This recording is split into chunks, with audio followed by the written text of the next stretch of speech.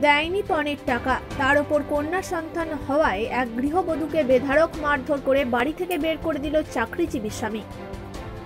পণের টাকা না দেওয়ায় এবং কন্যা সন্তান হওয়ায় এক গৃহবধূকে শারীরিক এবং মানসিক অত্যাচার করে বাড়ি থেকে বের করে দিল সরকারি চাকরিজীবী স্বামী। ঘটনাটি ঘটেছে নদিয়ার শান্তিপুর থানার বাক আজরা বাজার এলাকায়।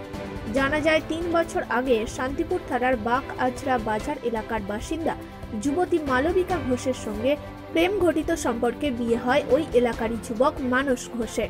অভিযোগ, কয়েক মাস পর থেকেই পণের দাবিতে ওই গৃহবধূর ওপর শারীরিক এবং মানসিক অত্যাচার শুরু করে তার স্বামী এবং শাশুড়ি। একাধিকবার মেরে ফেলার চেষ্টাও করে বলে অভিযোগ ওই গৃহবধূর। এক বছর আগে তার একটি কন্যা সন্তান হয়। কেন পুত্র সন্তান হলো না? এই প্রশ্ন করে অত্যাচারের মাত্রা আরও বেড়ে যায় বলে অভিযোগ। অত্যাচার সহ্য করতে না পেরে কয়েকবার বাবার বাড়ি চলে যায় ওই গৃহবধূ। কিন্তু বুঝিয়ে শুনিয়ে আবার স্বামী তাকে বাড়িতে নিয়ে আসে। কন্যা সন্তান হওয়ার পর অত্যাচারের মাত্রা বেড়ে যায় এবং তাকে কয়েকবার মেরে ফেলার চেষ্টাও করে তার স্বামী এবং শাশুড়ি। গতকাল তাকে পুনরায় বেধারক মারধর করে এক বছরের কন্যা সন্তানটিকে জোর করে রেখে বাড়ি থেকে বের করে দেওয়া হয় ওই গৃহবধূকে। প্রশ্ন উঠছে, সরকারি চাকরি করার পরেও পণের দাবিতে এবং কন্যা সন্তান হওয়ার গৃহবধূকে কীভাবে অত্যাচার করতে পারে তার স্বামী? অবশেষে শুক্রবার ওই গৃহবধূ ও তার পরিবারের তরফ থেকে শান্তিপুর থানায় একটি লিখিত অভিযোগ দায়ের করে।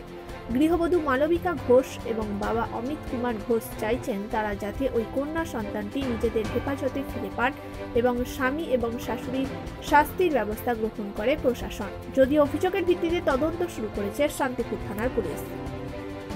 অভিযোগটা কি? আমাকে পণের জন্য অনেক দিন থেকেই মারে অত্যাচার করে প্রেগনেন্ট অবস্থা থেকে আমাকে মারতে শুরু করে। আবার মেয়ে হয়েছে বলে তার জন্য ওদের অনেক ইয়ে যে ছেলে আনতে পারিস নি মেয়ে এনেছিস তারপর টাকা পয়সা নিয়ে আয় বাড়ি থেকে আমি অনেক লোন করে ফেলেছি আমার সোনা গয়না সব কেড়ে নিয়ে ওরা কত বছর আগে বিয়ে হয়েছিল আপনার? এই তিন বছর হলো উনিশ সালে বিয়ে হয়েছে। আর মেয়ে হয়েছে কবে? মেয়ে হয়েছে কুড়ি একুশ সালে। আচ্ছা আপনার উপর যে অত্যাচারটা কি মেয়ে হওয়ার আগে থাকতেই নাকি মেয়ে হওয়ার পর থেকে? মেয়ে হওয়ার আগে থাকতেই ও মারতো কিন্তু আমি তখন কাউকে জানাইনি। কি কারণে মারতো? বিভিন্ন কারণ ওর মা তো মেনে নেয়নি। আর মেয়ে হওয়ার পরে? মেয়ে হওয়ার পরে মেয়ে হয়েছে বলে আবার শুধু বলতে বাবার থেকে টাকা নিয়ে আয়। টাকা না নিয়ে আসে সম্পত্তি নিয়ে আয়। আর কন্যা সন্তান হওয়াতে কি আপত্তি ছিল? হ্যাঁ। কি বলতো? কন্যা সন্তান হওয়ার আগে থেকে ছেলেকে বলতো যাবি না আগে দেখি কি হয় মেয়ে হয় না ছেলে হয়। তারপরে যখন মেয়ে হলো তারপর থেকে মেয়ে হয়েছে ছেলে আনতে পারিসনি ছেলে হয়নি। আচ্ছা, এটা কি শুধু তো আপনার হাজবেন্ডই করে নাকি শ্বশুর শাশুড়ি তারা শাশুড়ি করে শ্বশুর কিছু বলে না উনি চুপ করে থাকে। আর আপনার হাজবেন্ড কি করে? মানে কি কাজ কি কাজ করে?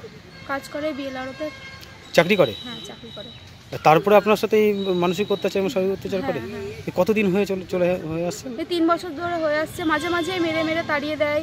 প্রেগনেন্ট অবস্থায় আমার গলায় ফাঁস দিয়ে একবার ঘরের মধ্যে মেরে ফেলার চেষ্টা করেছিল। আচ্ছা। তখন আমি একটা মেডিকেল তুলেছিলাম কিন্তু এখন কি হয়েছে?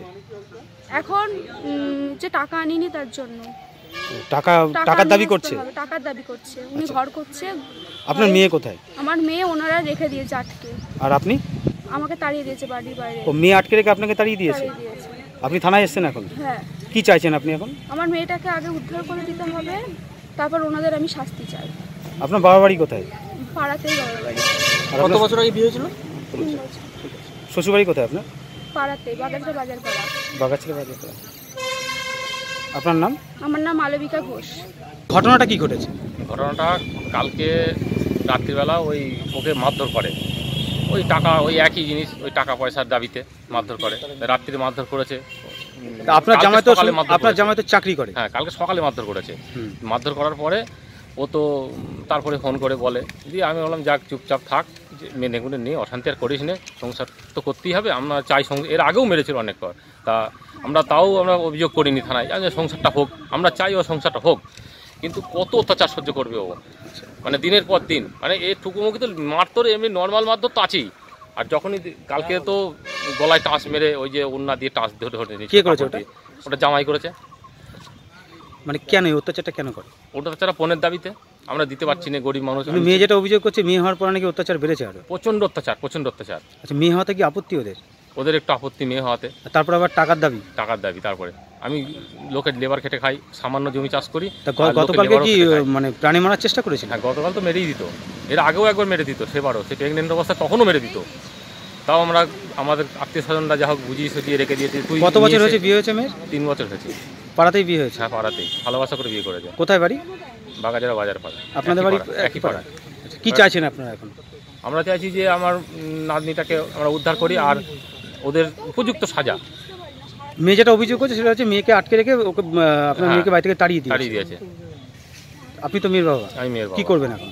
এখন চাই আমার আমার জামাই বা বিয়ান এরা অ্যারেস্ট হোক উপযুক্ত শাস্তি হোক পুলিশ কড়া শাস্তি দিকে এদের কি যাতে করে জামাই? জামাই বিয়ে লড়ো চাকরি করে। চাকরির পরেও টাকার হ্যাঁ, চাকরির পরও টাকার দাবি। আপনার নাম? আমার নাম Amit Kumar Ghosh. Malay De report Times Bangla.